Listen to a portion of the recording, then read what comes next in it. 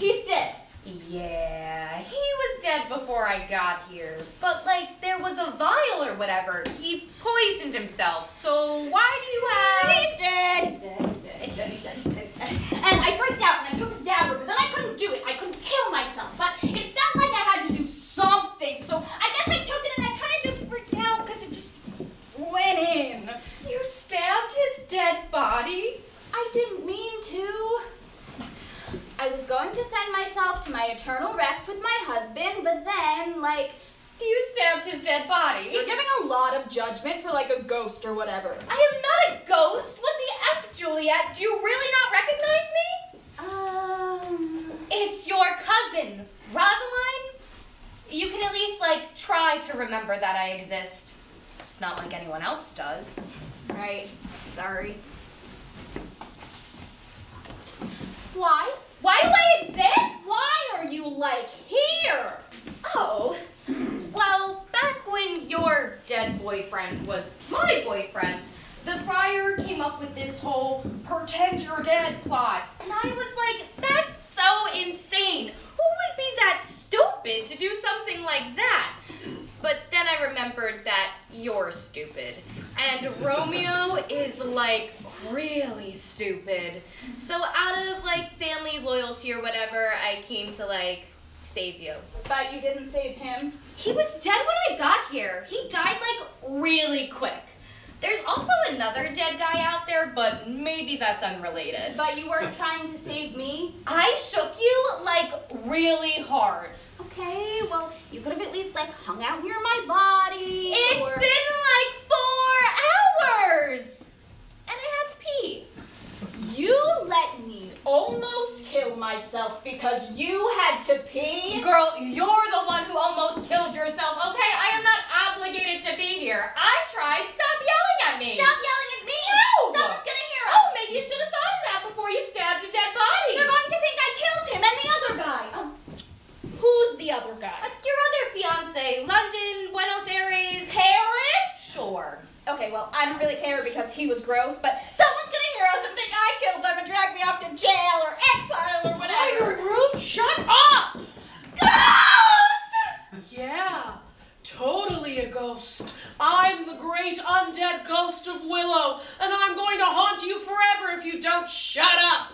Wait, you don't look like a ghost. No, I totally am. I'm the all powerful ghost of Willow, and I'm asking you to keep your voices down. I don't think ghosts are all powerful. Yeah, aren't they like condemned to wander the earth or whatever? Whatever, maybe I'm just regular Willow. Can you please shut up? Oh, I guess. You said please that time. And yet you were still talking.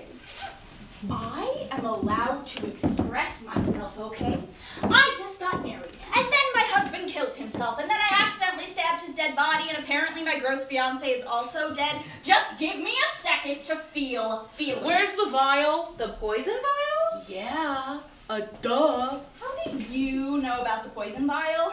Because my stupid boss, the stupid apothecary, gave it to stupid Romeo. And if my stupid boss gets jailed or excommunicated or whatever, then I will too. So I came to hide the stupid evidence. Oh, word. Don't call my husband stupid. Wasn't he though? Yeah, but that's not the point.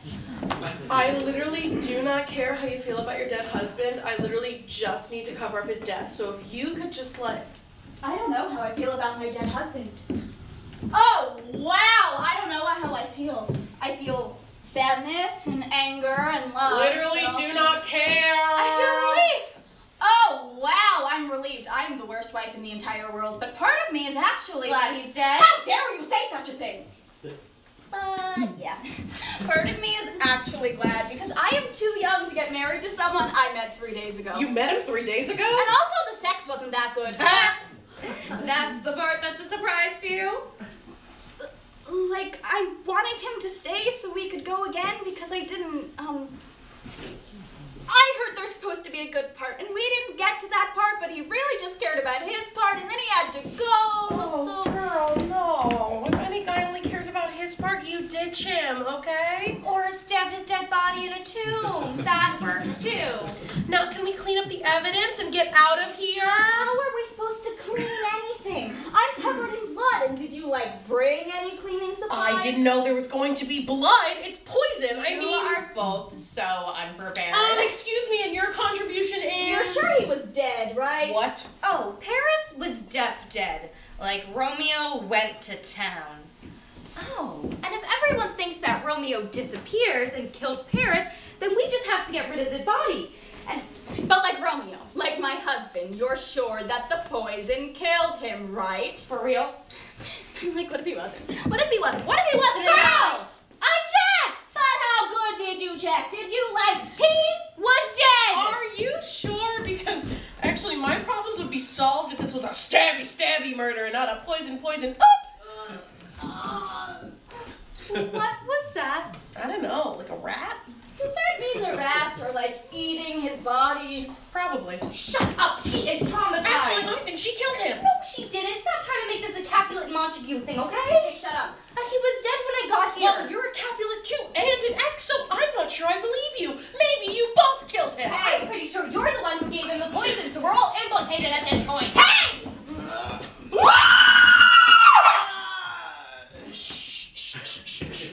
Quiet down. Holy shit! He's not dead. He's not dead. He's almost dead. Help me! um,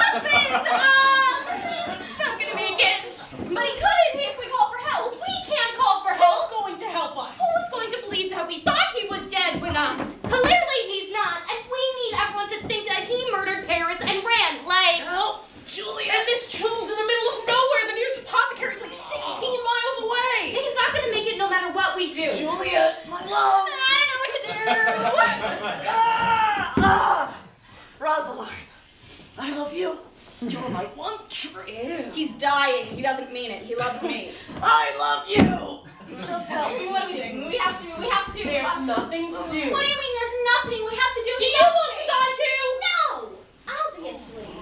We're all on the Capulet side of this. If we show up somewhere with a bloody Montague, who, let's face it, is going to be dead by the time we get there, Hey. this isn't going to end well. Girl, I think you stabbed him kind of hard. Yeah. I was just trying to get the thing back in the thing. Were you? Help! Ah! Unless you want to be prosecuted for his murder, we're going to have to hide the body. And for that to happen, there has to be a body. Oh, he's probably dead now. That's blood. No, I don't think he's dead yet. You were the one who said he was almost dead. Yeah, but he's still breathing. I can see it. My husband. Girl, you already stabbed him. Clearly, there's more to that story. I can't believe I had a husband. Have almost had. Wait for it. I'm sorry, my love.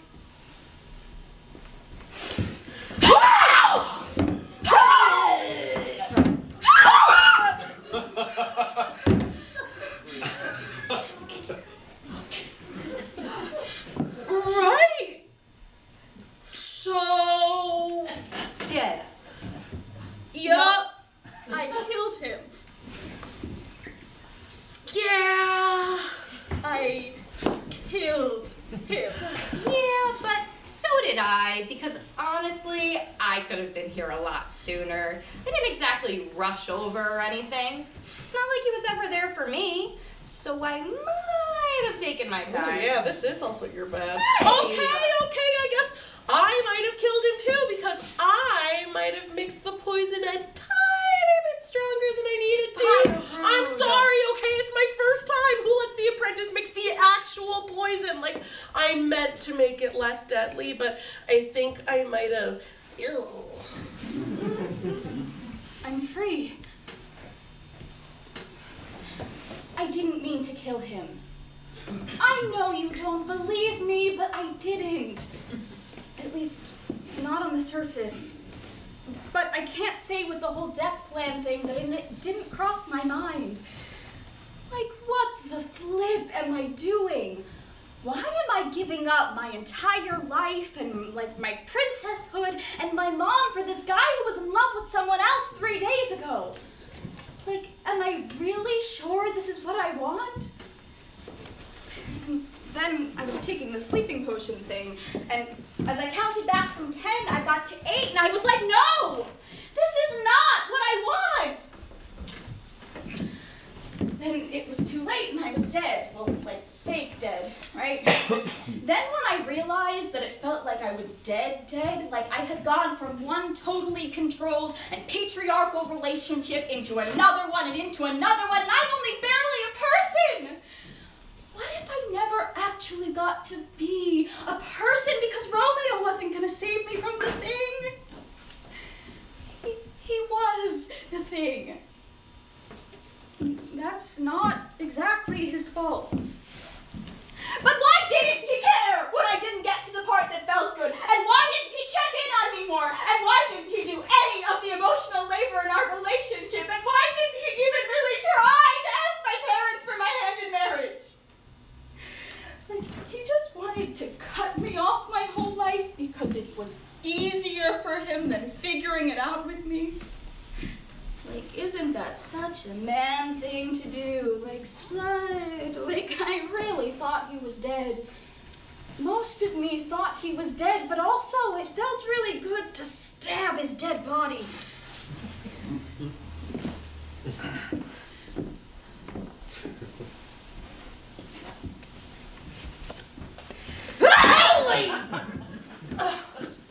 What? He's already dead. Might as well get some catharsis too out of this. He didn't even answer my carrier pigeon when I thought I was preggers. Hey, you're rude, are you? No, I was just late, but he didn't know that. And then suddenly he's in love with someone else. Wow, you both really dodged a sword. Yeah. Sorry, Rosaline. Hey, if it wasn't for you, he wouldn't be dead, so no apologies necessary. Yeah, but like, if you and I had just talked to each other, we wouldn't be like implicated in murder and stuff, so. Classic girl problems.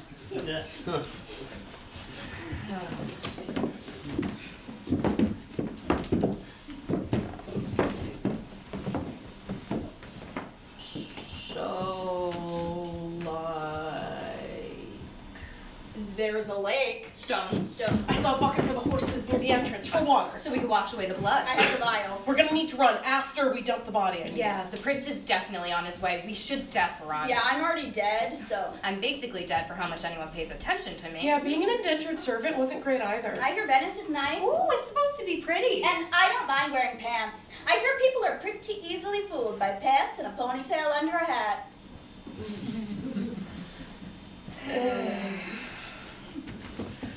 Are you two strong enough for this? oh yeah. Yes, we are. Okay. One, two, three!